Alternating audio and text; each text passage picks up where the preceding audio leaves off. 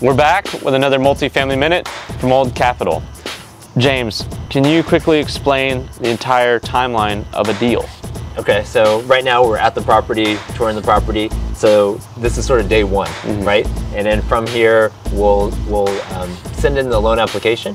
So the loan application goes in. Usually the first two to three weeks is where all the third parties are done. So that'll be your engineering, environmental, appraisal.